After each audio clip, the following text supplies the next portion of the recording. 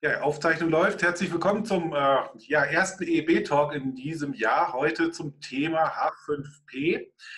Ähm, wir haben als Referenten den Michael Weiß heute hier als Experten. Ich habe ihn vor ein paar Jahren kennengelernt und ähm, er glänzte eigentlich schon immer durch ja auch nicht nur medienpädagogisches Wissen, sondern auch durch technisches Fachwissen und hat sich einfach gezeigt, ähm, dass dieses Tool bei ihm wirklich sehr gut aufgehoben ist und er auch sehr gut erklären kann, was man damit alles machen kann.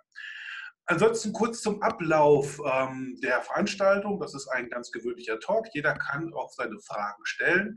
Wir haben hier ein Chatfenster nebenbei. Das heißt, entweder nutzt ihr dann die ähm, Zeiten, wenn ihr Fragen habt und stellt sie einfach oder ihr schreibt mir eben über das Chatfenster und ich werde im Rahmen der Gesprächsführung dann Michael unterbrechen und die Fragen mit reinbringen ja, auch für die Leute, die jetzt nicht per Mikrofon oder Webcam mit dabei sind, also über Chat oder Twitter, den Hashtag EEB Talk habt ihr mal die Möglichkeit, Fragen mit nochmal in die Diskussion reinzugeben.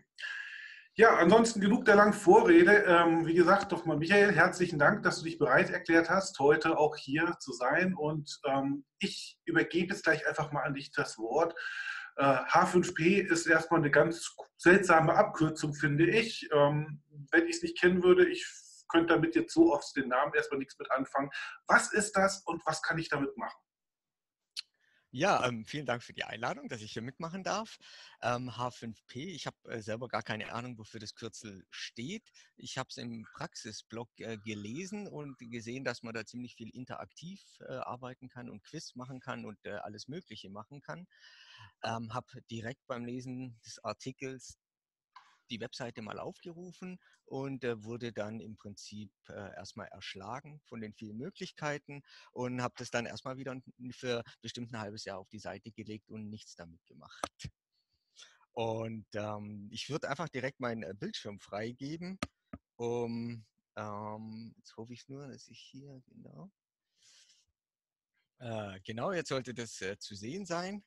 Äh, das ist die Webseite h5p.org so wie ich das verstanden habe, ist das eine, ähm, äh, eine Community, die die Plattform entwickelt. Das ist, äh, steht frei zur Verfügung. Man muss sich äh, anmelden, wenn man hier bestimmte Dinge erstellen kann.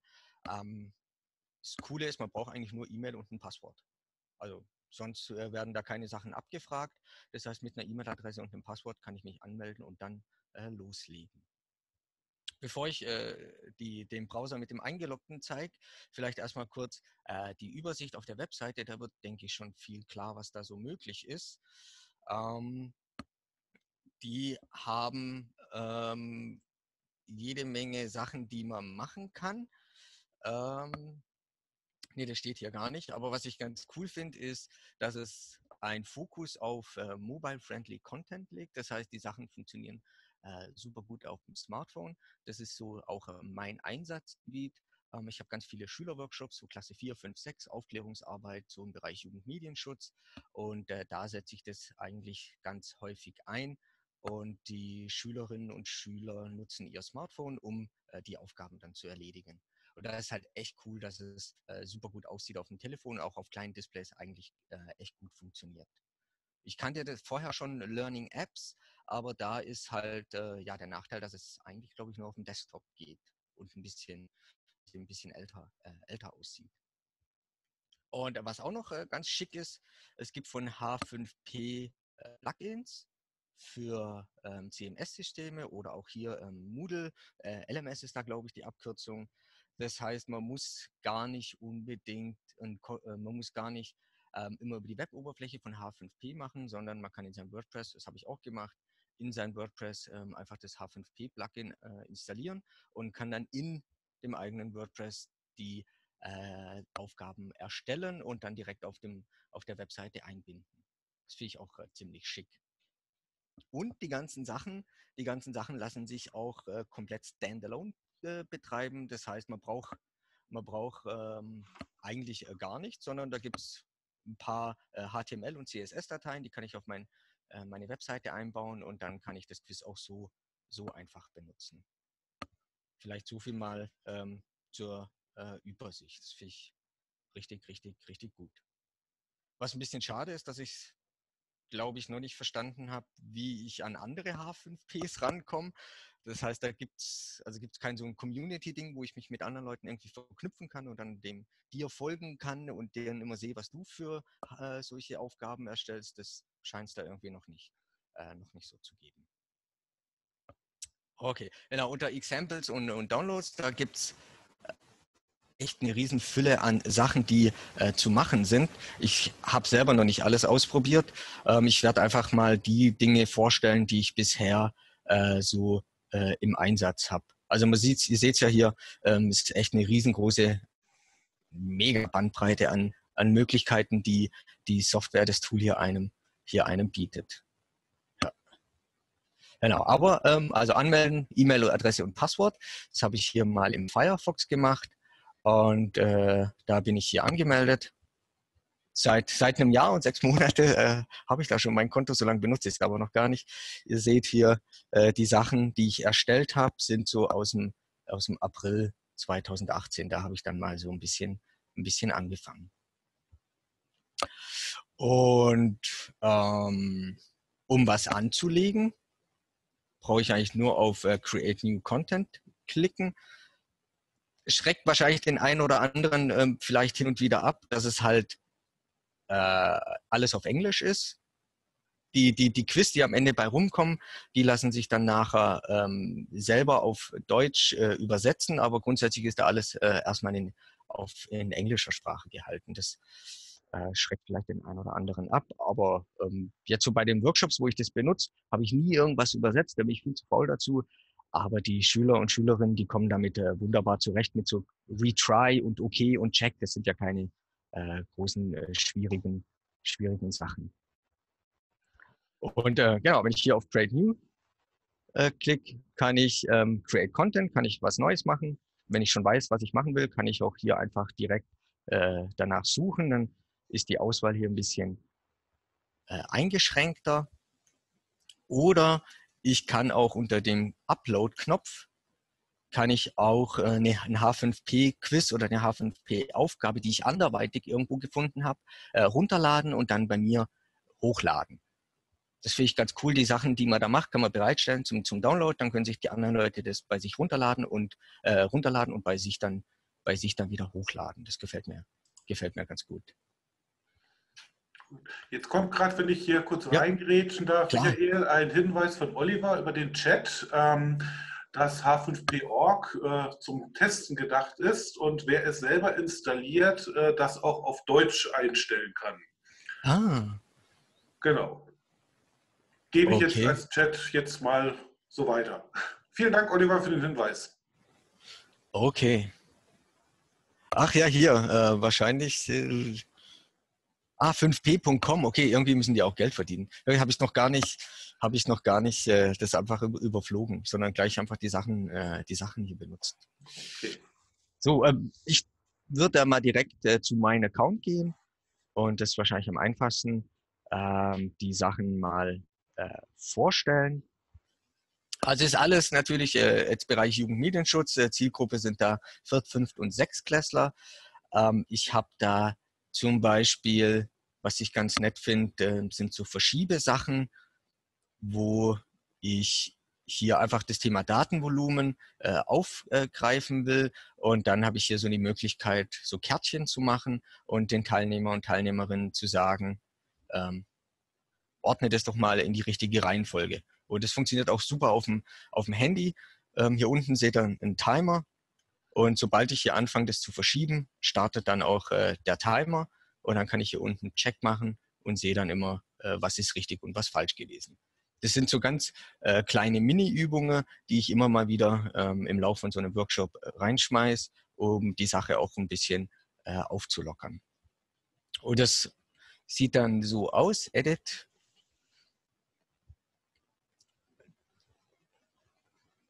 Genau, Image Sequencing nennt sich das. Und äh, da habe ich dann einfach äh, diese Bildchen selbst, selbst erstellt und dann äh, hochgeladen. Und äh, dann kann man dann einfach die, die Reihenfolge bestimmen. Also so wie es jetzt hier äh, zu sehen ist, ist dann auch nachher das, das richtige Ergebnis. Okay. Michael, ich möchte noch mal kurz einen Schritt äh, noch mal zurückgehen. Und zwar, ja. ähm, Äh, die generelle Funktion von H5P, also die besteht also darin, ähm, interaktive ja, Lerninhalte zu erstellen. Genau. Ja, also sei es in Form von Quizzen, von Slideshows, von Videos oder was sind da alles die Möglichkeiten? Du hast da vorhin mal so schnell so eine Übersicht gezeigt. Also einfach nur mal so das Grundprinzip von der Seite zu verstehen, von dem Angebot zu verstehen. Genau. Ich, ähm, also es ist, um Lerninhalte äh, zu erstellen und da gibt es äh, unglaublich viele Möglichkeiten. Ähm, einen ersten Eindruck hatte ich davon, als ich den Online-Kurs zur digitalen Jugendbeteiligung äh, mitgemacht habe. Ähm, da wurde auch äh, H5P äh, viel eingesetzt, um kleine Quizaufgaben zwischen den, zwischen den Inhalten nochmal noch mal abzufragen.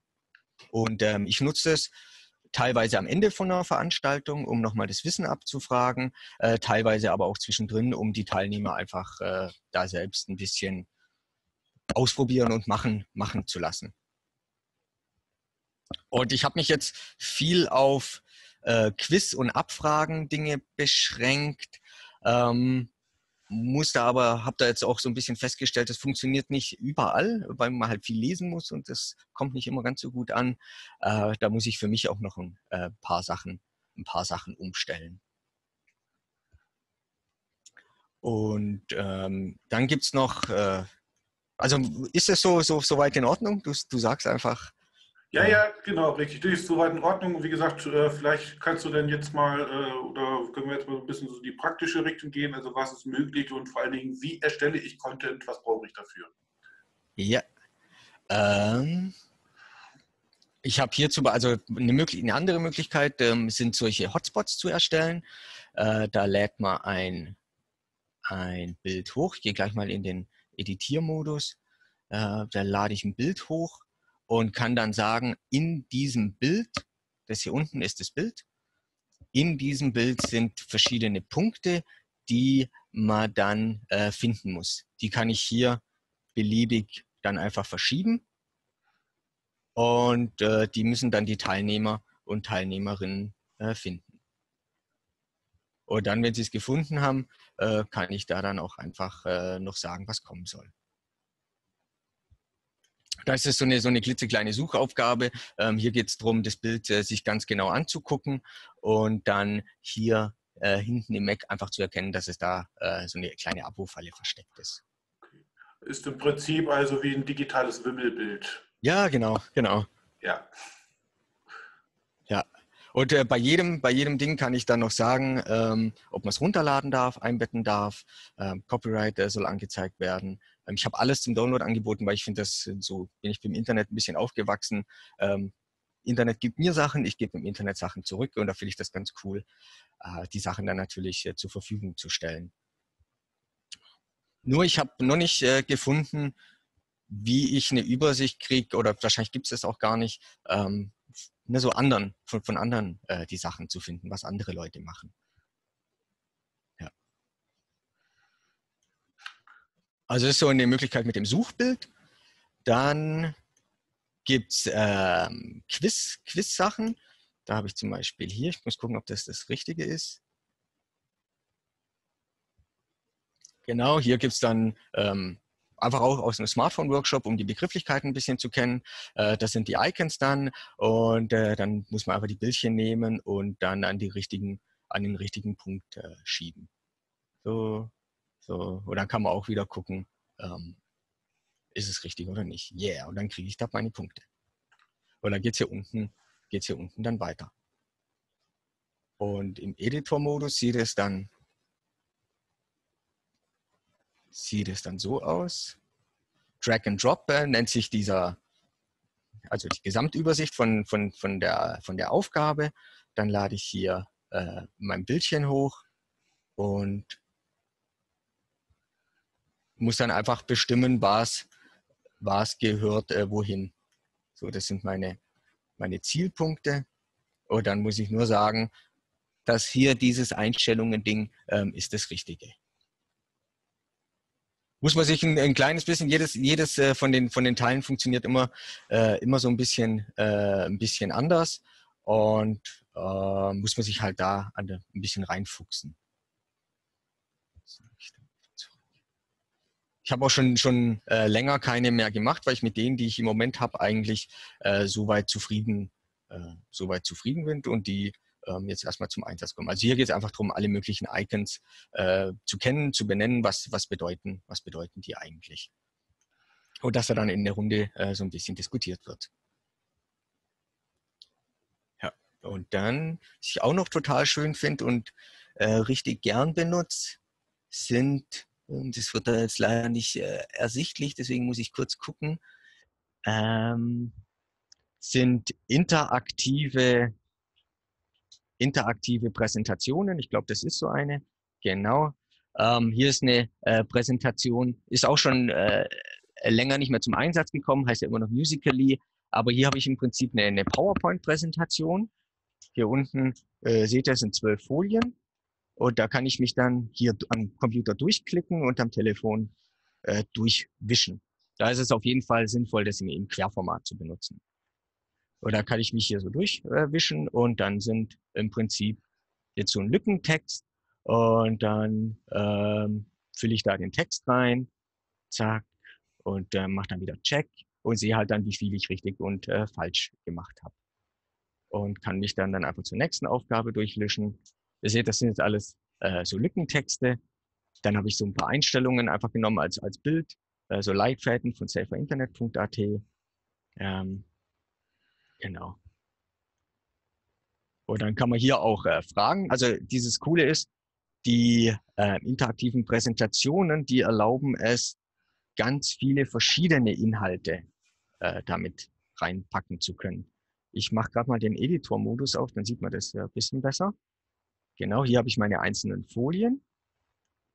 Und dann kann ich jetzt hier zum Beispiel Folie 10, wenn ich die Grafik nicht haben will, lösche ich die und kann dann hier die ganzen Sachen hier oben einbinden. Also ich kann Video einbinden, ähm, ähm, also äh, wie, wie heißt also Rechtecke und, und äh, Kreise kann ich einbinden, Audio einbinden, Lückentext kann ich machen, ähm, eine Frage, Multiple-Choice-Fragen, richtig oder falsch Fragen kann ich machen.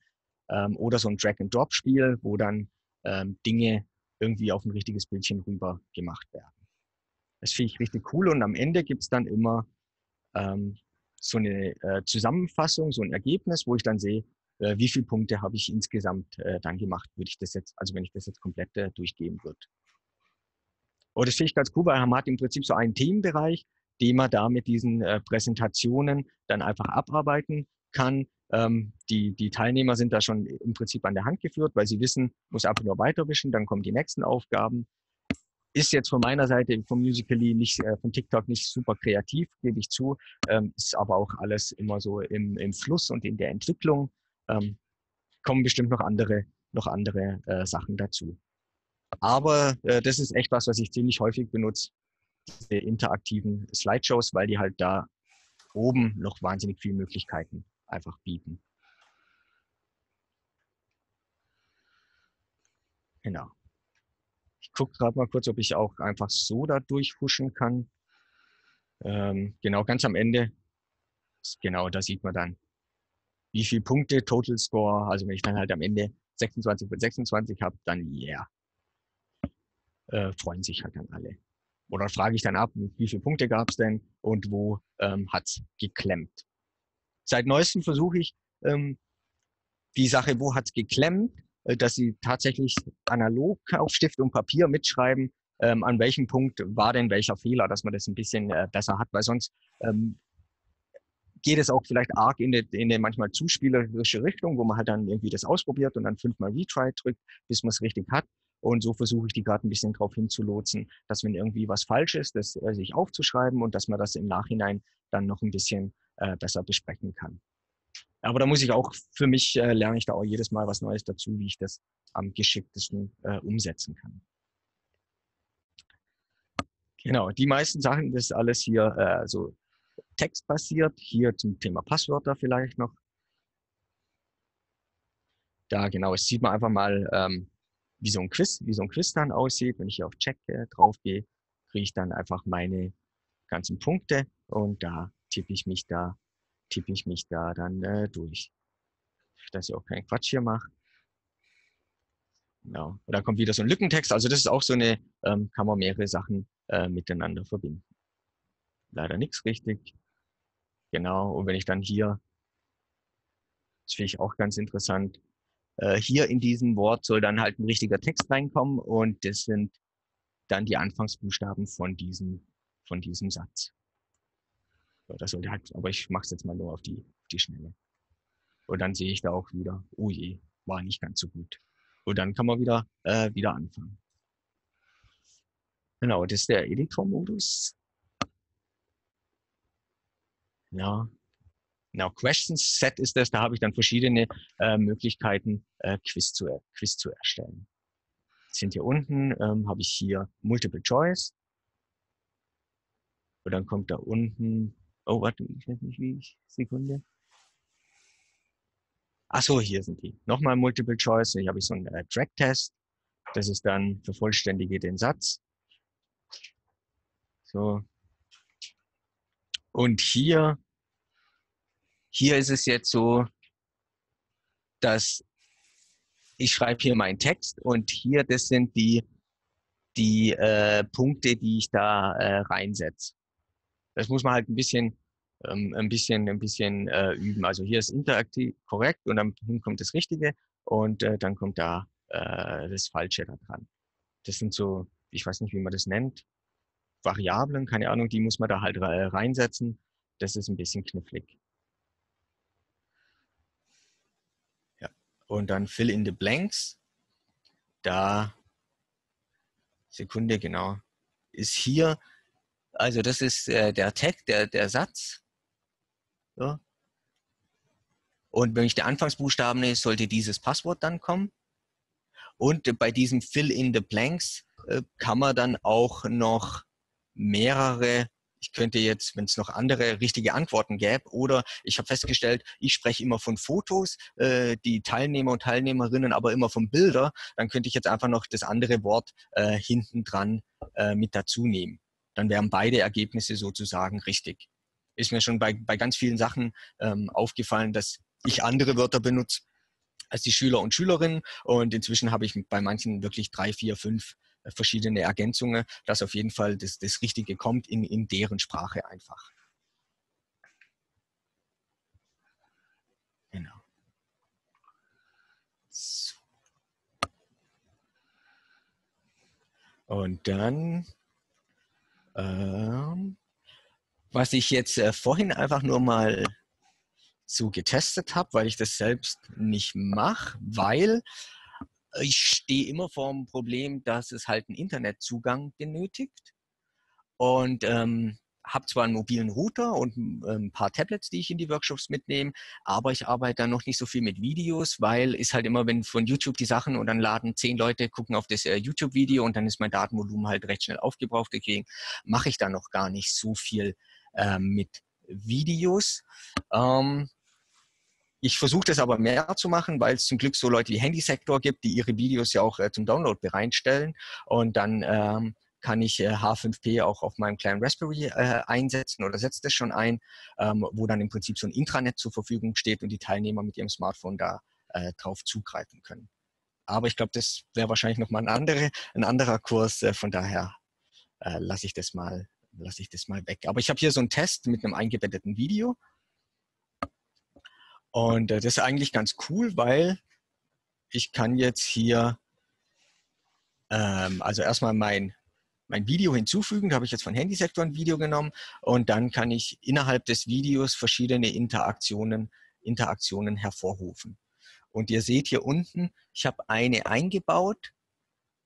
Da, wenn ich jetzt ein Stückchen vorspule, dann läuft es läuft das Video und dann kommt hier äh, meine Interaktion. Draufklicken oder vielleicht habe ich jetzt auch die falsche gemacht. Ähm, eigentlich sollte, oder ich kann es hier gar nicht, weil ich im Editor-Modus bin. Oh Gott. Ähm, hier kann ich auf jeden Fall meine Interaktion einbauen. Kann sagen, es soll das Video pausieren und dann sollen die hier in dem Fall jetzt einfach äh, Fragen zu dem, was die Frau jetzt drei Minuten vorher äh, erzählt habe, kann ich dann Fragen stellen und die dann ähm, erledigen lassen. Da sieht man halt hören die Nutzer da überhaupt zu äh, bei dem Video, was die, was die da erzählt. Und man kann auch hier ähm, fill in the blanks, also man kann da auch wieder wie bei so einer interaktiven Prä äh, Präsentation äh, ziemlich viel Zeugs, ziemlich viel Zeugs äh, mit dazu packen und das Video da dann interaktiv gestalten, um auch ein bisschen Aufmerksamkeit zu gucken, wie, wie gut wird da äh, zugehört.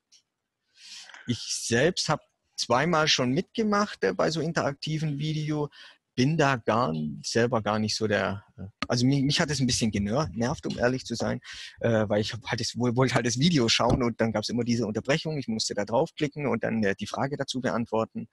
Ähm, muss man wahrscheinlich äh, ausprobieren oder ähm, vielleicht schauen, ob man das dann immer nach bestimmten Teilen machen kann oder mit mehreren Videos. Ich weiß nicht. Ich fand's, ich, also ich selbst persönlich fand es jetzt ein bisschen äh, ja, nervig, dass da dann immer äh, was aufgepoppt ist und dann konnte ich das Video nicht fertig gucken. Ich würde, glaube ich, mir gefällt es besser, das auf interaktive Folie zu machen, das Video laufen zu lassen.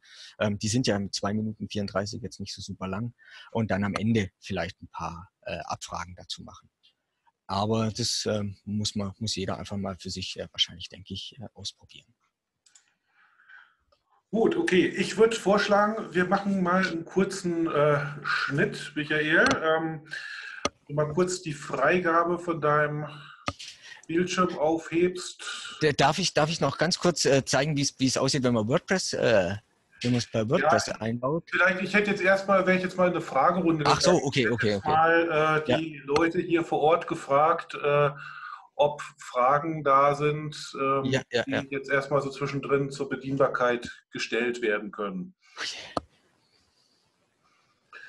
So, da wird mit dem Kopf geschüttelt und auch sonst kommt nichts. Der Michael schüttelt auch mit dem Kopf. In Ordnung. Okay, also das heißt, wir haben jetzt erstmal die Möglichkeit, mit H5P ähm, Lerninhalte, Lehrinhalte medial aufzubauen oder ähm, einzurichten äh, in Form von Quizzen, in Form von Abfragen. Wir können Videos äh, interaktiv gestalten für eine zwischendrin Lernkontrolle. Was habe ich jetzt äh, mitgenommen? Äh, ich sage mal ein Quiz oder ein paar Fragen mit einzubauen. Die ganze Geschichte ist kostenlos, ist Open Source. So.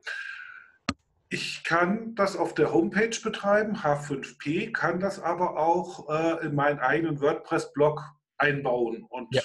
das wolltest du jetzt gleich zeigen. Und dann wolltest du auch noch mal drüber schwenken, wie das auf in der mobilen Nutzung her aussieht. Okay. Mhm.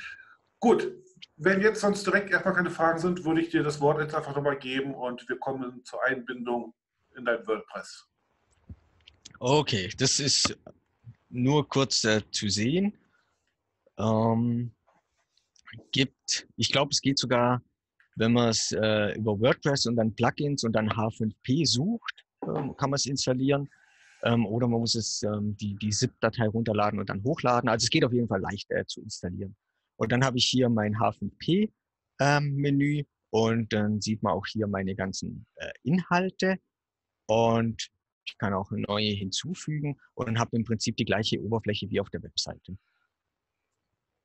Genau, sind genau die äh, gleichen Sachen. Manchmal hier bei äh, diesem Question Set äh, steht Übernehmen dran. Das heißt, das muss ich mir dann einfach nochmal noch mal runterladen. Äh, andere muss, kann, kann man aktualisieren, ähm, dass da noch Updates sind. Also ich habe nicht alles runtergeladen, sondern nur die Sachen, die ich halt äh, bisher mehr oder weniger kenne und verwende.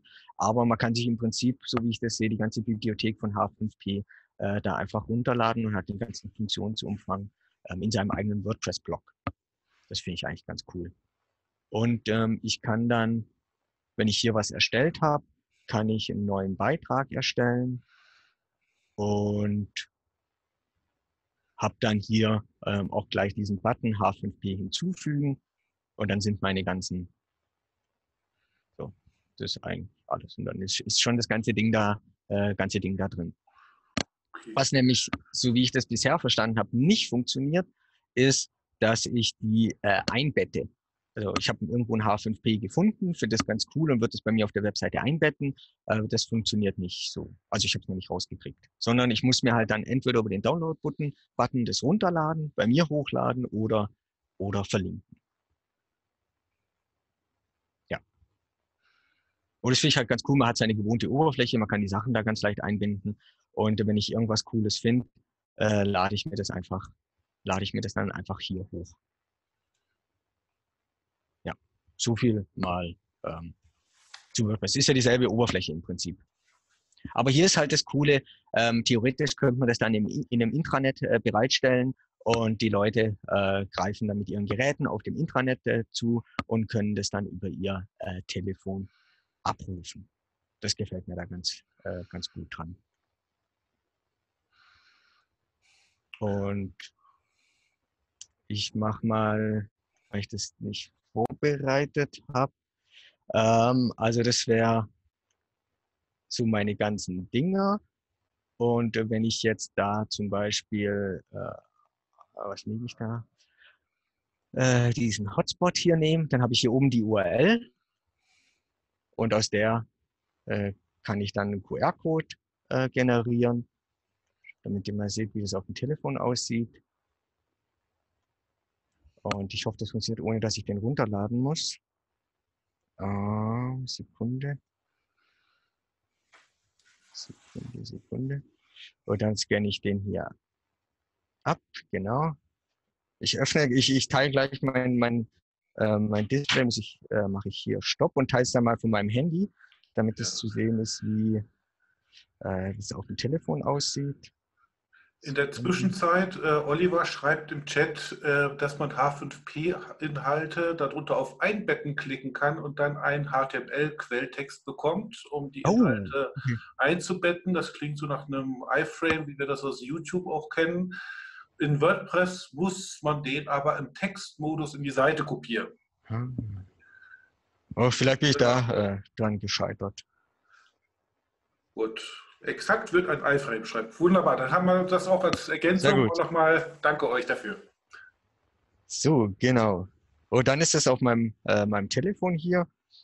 Und dann sieht man hier äh, im Prinzip die Aufgabe, die ich da äh, gestellt habe. Und da muss man halt hier äh, auf das Ding da draufklicken, 4,99 Euro. Kriegt er dann unten ähm, das, das Ergebnis angesagt, 4,99 Euro in der Woche, 1 auf 2 und das andere ist hier, ähm, genau, also es ist ganz, äh, ganz simpel. Ähm, die, man kann auch zoomen. Ähm, die Teilnehmer sehen da meistens immer Talking Tom und kennen die App und sagen, yeah, und äh, der überwacht mich und so weiter und so fort. Ähm, aber sag ich, guckt, guckt ganz genau hin und dann äh, sage ich, dass man zoomen kann und irgendwann finden sie dann die 4,99 Euro. Und dann kann man das äh, ganz gut besprechen mit der Werbeanzeige, wofür ist die da, was will die eigentlich von mir. Ähm, ja. Und das Ganze, das Coole ist halt, dass, es, dass ich das im Intranet habe, die ihre eigenen Geräte benutzen können und ähm, da ist im Moment noch die Motivation ein bisschen, äh, ein bisschen höher. Ja. Genau, so sieht das auf dem Telefon aus. Okay. Gut, dann äh, erstmal Dankeschön, Michael. Das heißt, ähm, wenn ich das richtig verstehe, du bist in, in deinen Seminaren, du hast dein eigenes Intranet dabei ähm, über ein Raspberry Pi, wo dann die Teilnehmenden über ihr Smartphone, äh, über WLAN darauf zugreifen können. Ich habe aber auch die Möglichkeit, ich sage mal, einen WordPress-Blog zu erstellen, über, wo ich sämtliche Quiz und Inhalte auch einbaue. Genau. Und eben auch über, wie wir jetzt gelernt haben, über ein iFrame auch woanders äh, einbinden können. Super. Mhm. Okay, prima. Also das war erstmal ein klasse Überblick. Ähm, auch vielen Dank für die ganzen Ergänzungen nochmal. Ähm, gibt es denn jetzt noch Ergänzungen oder Kommentare oder Fragen, die wir hier noch einbringen können? So. Dem scheint erstmal nicht zu sein. Ah, Okay. Ich bin auch gerade ein bisschen am Ausprobieren mit H5P und eine Sache, die ich auf jeden Fall sehr großartig finde, ist, dass man sehr gutes Rechtemanagement ähm, hat. Also wenn man ein Bild da reinlegt, ähm, kann man ähm, halt in den Metadaten die Information, äh, welche CC-Lizenz das Ganze mhm mit einfügen, um dann, wenn man später damit arbeiten will, einfach darauf zurückgreifen kann und auch die Leute sich das anzeigen lassen können. Ich hatte ja eben diesen Screenshot in den Chat getan, wo diese Einbettfunktion zu sehen ist und daneben ist auch so ein kleiner Knopf, da steht dann Rights of Use und da klickt mhm. man drauf und dann steht für jede Seite da, welche Lizenzen das ist und man kann sich fragen, ob das dann eine angemessene Form von Lizenzierung ist. Es ist auf jeden Fall eine elegante, die nicht so hässlich aussieht. Äh, mhm. und auch ganz großartig anhaben. Rechte. Ich hätte auch noch mal eine Frage. Äh, Wie sieht das mit den Datenschutzbestimmungen aus? Man lädt ja dann Daten auf einen Server hoch. Also wenn du die Bilder benutzt hast oder ein Video einbettest mit, mit deinen Fragen oder mit den Stops, werden diese Daten ja irgendwo gespeichert. Ja, ähm, keine, äh, keine Ahnung, um ehrlich zu sein. Aber ich benutze die, die Online-Variante auch äh, ganz äh, selten, sondern ich habe das halt immer ähm, meistens äh, die Version mit dem Raspberry äh, Pi, wo es ein Intranet gibt und mhm. die Leute dann, ähm, ja, das kommt selten vor, dass ich, dass ich die, die Webseite da äh, benutze.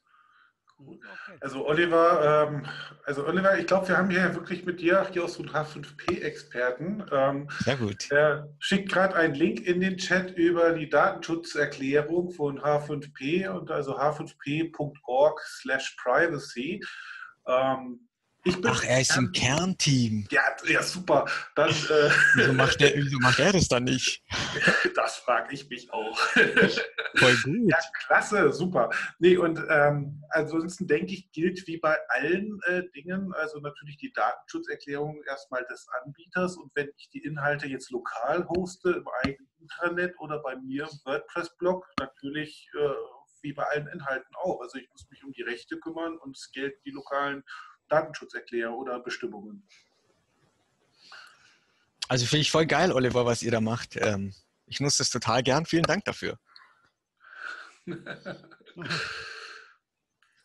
Ach, ein paar Hinweise zum Selbsthosten, genau. Also ich glaube, die Links, die werde ich nachher nochmal alle, äh, wenn ich das Video nachher im Blog poste und im YouTube-Kanal noch mit alle übernehmen.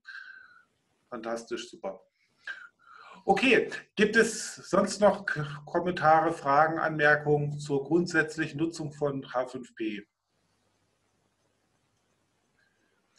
Also ich habe auch den Eindruck, ähm, da steckt ganz viel Potenzial drin. Man muss sich erstmal so ein bisschen einfuchsen und einlesen und auch verstehen, was so hinter den ganzen Funktionen ähm, äh, ja erstmal dahinter steckt. Aber ich glaube, das ist eigentlich bei allen Diensten so. Und der Leitsatz, wenn man mal weiß, wie es geht, ist es gar nicht so schwer, gilt auch hier. Ähm, ja, ich glaube, in diesem Sinne, ich bedanke mich jetzt erstmal für, äh, ich sag mal, die ganze rege Beteiligung, für die Kommentare, für die Hinweise. Auch vielen Dank, Michael, dass du dein Wissen hier zur Verfügung stellst und mit uns teilst. Und ja, in diesem Sinne beende ich dann jetzt die Aufzeichnung und wünsche allen noch einen ja, guten Tag. Macht's gut. Tschüss. Danke, ja, jo, ciao. Ciao.